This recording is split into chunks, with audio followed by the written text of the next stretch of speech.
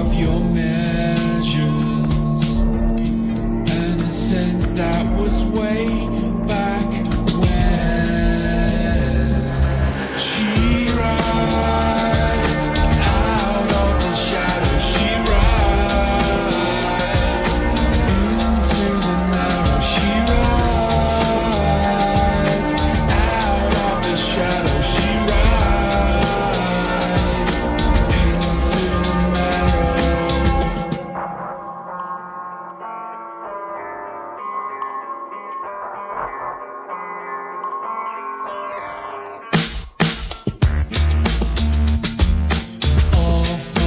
all for a scent that was way back when.